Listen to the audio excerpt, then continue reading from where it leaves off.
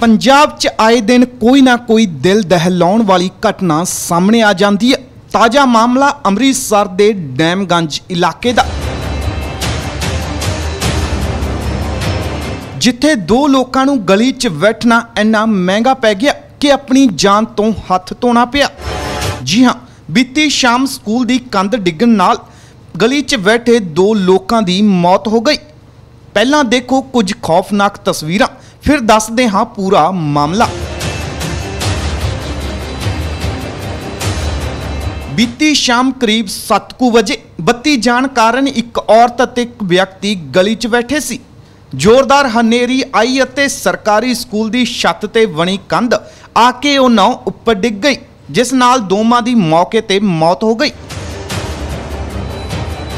ਮ੍ਰਿਤਕ ਔਰਤ ਦੀ ਧੀ ਨੇ ਮੀਡੀਆ ਨਾਲ ਗੱਲ ਕਰਦਿਆਂ ਸਕੂਲ ਪ੍ਰਿੰਸੀਪਲ ਤੇ ਗੰਭੀਰ ਦੋਸ਼ ਲਗਾਏ। ਮੇਰਾ ਨਾਮ ਸੀਆ ਹੈਗਾ ਸਕੂਲ ਦੀ ਕੰਧ ਡਿੱਗੀ ਮੇਰੀ ਮੰਮੀ ਦਾ ਤੇ ਮੇਰੇ ਮੰਮੀ ਦੀ ਡੈਥ ਹੋ ਗਈ ਹੈ।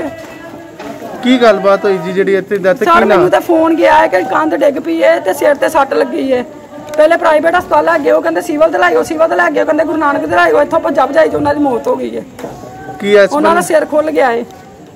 ਨਾਲ ਸਾਡੇ ਪੜੋਸੀ ਉਹਨਾਂ ਦੀ ਵੀ ਡੈਥ ਹੋ ਗਈ ਹੈ। ਕੀ ਇਸ ਬੰਦੀ ਪੁਲਿਸ ਕੰਪਲੇਂਟ ਕੀਤੀ ਹੈ ਜੀ? ਇਹਨਾਂ ਨੂੰ ਮੈਂ ਤਾਂ ਸਰ ਮੈਨੂੰ ਪਤਾ ਨਹੀਂ ਕੀਤੀ। ਕੀ?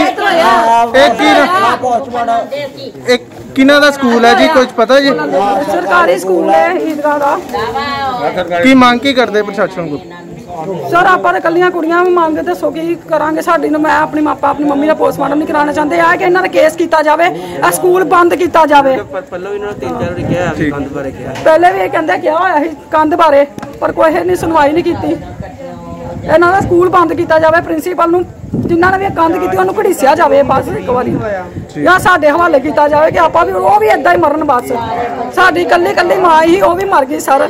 ਪੀੜਤ ਪਰਿਵਾਰ ਨੇ ਇਨਸਾਫ ਦੀ ਗੁਹਾਰ ਲਗਾਉਂਦਿਆਂ ਸਖਤ ਕਾਰਵਾਈ ਦੀ ਮੰਗ ਕੀਤੀ। ਜੋ ਕਿ ਇਹ ਬੰਦੀ ਕਾਰਵਾਈ ਕੀਤੀ ਜਾਵੇ ਸਾਨੂੰ ਇਨਸਾਫ ਦਿੱਤਾ ਜਾਵੇ। ਕੀ ਇਸ ਬੰਦੀ ਤੁਸੀਂ ਪਰਚਾ ਦਰਜ ਕਰਾਓਗੇ ਜੀ ਸਕੂਲ ਪ੍ਰਿੰਸੀਪਲ ਤੇ? ਇਹ ਕੋਈ ਗੱਲ ਨਹੀਂ ਵਿਚਾਰ ਕਰਕੇ ਸਾਰੇ ਮਤਲਬ ਕਾਉਂਸਲਰ ਸਾਹਿਬ ਨਾਲ ਜਾਂ ਹੋਰ ਹੀ ਵਿਚਾਰ ਕਰਕੇ ਕਿਉਂਕਿ ਜੋ ਵੀ ਅਜੇ ਤਾਂ ਚਲੋ ਦੋ ਡੈਥ ਹੋਈ ਹੈ, ਇੱਕ ਮੇਰੇ ਮਾਮਾ ਜੀ ਸੀ ਨਾਲ ਇੱਕ ਲੇਡੀ ਸੀ, ਉਹਨਾਂ ਦੀ ਡੈਥ ਹੋਈ ਜੇ ਬਾਈ ਚਾਂਸ ਹੋਰ ਬੱਚੇ ਵਗੈਰਾ ਵੀ ਖੇਡਦੇ ਹੁੰਦੇ ਜਾਂ ਹੋਰ ਪਰਿਵਾਰਕ ਮੈਂਬਰ ਹੁੰਦੇ ਗਲੀ ਦੇ, ਤੇ ਫਿਰ ਕਿੰਨਾ ਨੁਕਸਾਨ ਹੋਇਆ ਤੁਸੀਂ ਇਹਦਾ ਅੰਦਾਜ਼ਾ ਲਾ ਸਕਦੇ ਜੋ ਕਿ ਅਜੇ ਤਾਂ ਚਲੋ ਦੋ ਡੈਥ ਹੋਈਆਂ, ਪਰ ਜੇ ਆਉਣ ਵਾਲੇ ਟਾਈਮ ਦੇ ਵਿੱਚ ਕਿ ਹੋਰ ਵੀ ਇੱਥੇ ਮਤਲਬ ਬੱਚੇ ਵਗੈਰਾ ਖੇਡਦੇ ਹੁੰਦੇ ਤਾਂ ਤੁਸੀਂ ਆਪ ਸੋਚੋ ਕਿ ਕਿੰਨਾ ਨੁਕਸਾਨ ਹੋ ਸਕਦਾ ਸੀ। ਇਹ ਸਾਰੀ ਪ੍ਰਸ਼ਾਸਨ ਦੀ ਗਲਤੀ ਆ, ਇਹਦੇ ਕਰਕੇ ਕਿ ਪ੍ਰਸ਼ਾਸਨ ਨੂੰ ਅਸੀਂ ਇਹ ਮੰਗ ਕਰਦੇ ਆ ਕਿ ਸਾਨੂੰ ਇਨਸਾਫ ਮਿਲਣਾ ਚਾਹੀਦਾ। ਇਸ ਮਾਮਲੇ ਤੇ ਪੁਲਿਸ ਦਾ ਕੀ ਕਹਿਣਾ? ਆਓ ਦੇਖਦੇ ਹਾਂ।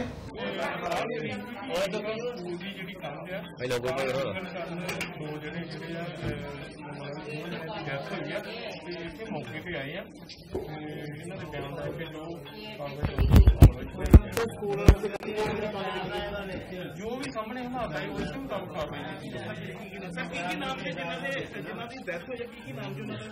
ਇਹ ਇਹਨਾਂ ਦੇ ਇੱਕ ਸਤਨਾਮ ਸਿੰਘ ਹੈ ਜੀ ਜੀ ਅਹ ਸਤਨਾਮ ਸਿੰਘ ਦੂਸਰੇ ਜਿਹੜੇ ਆ ਉਹ ਕਿੰਨੇ ਸ਼ਰਮਾ ਜੀ ਸਰ ਹੁਣ ਡੈਡ ਬੋਡੀ ਦੇ ਪੋਸਟਮਾਰਟਮ ਵਗੈਰਾ ਵੀ ਕੀਤੇ ਬਿਲਕੁਲ ਪੋਸਟਮਾਰਟਮ ਕਰਾਇਆ ਜਾਊਗਾ ਜੀ ਜੋ ਵੀ ਸਰ ਇਲਾਕਾ ਨਿਵਾਸੀਆਂ ਦਾ ਕਹਿਣਾ ਹੈ ਬਾਰ-ਬਾਰ ਕਿ ਇਹਨਾਂ ਨੂੰ ਕਿਹਾ ਜਾ ਰਿਹਾ ਸੀਗਾ ਕਿ ਦੀਵਾਰ ਜਿਹੜੀ ਆ ਉਹਨੂੰ ਜ਼ਿਆਦਾ ਮਜ਼ਬੂਤ ਕੀਤਾ ਜਾਵੇ ਤਾਂ ਜੋ ਕਿ ਇਸ ਤਰ੍ਹਾਂ ਦੀ ਘਟਨਾ ਨਾ ਵਾਪਰੇ ਇਹਦੇ ਸੰਬੰਧੀ ਜੋ ਵੀ ਪਰਿਵਾਰ ਮੈਂਬਰ ਬਿਆਨ ਦਿੰਦੇ ਆ ਉਸ ਮੁਤਾਬਿਕ ਹੀ ਕਾਰਵਾਈ ਹੋਣੀ ਚਾਹੀਦੀ ਹੈ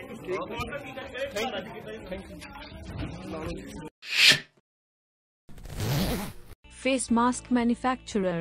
Factory capacity half million mask per day. 2 and 3 ply disposable face mask. 3 ply disposable face mask with nose wire. RN95 respirator face mask. Adjustable nose piece for ultimate comfort.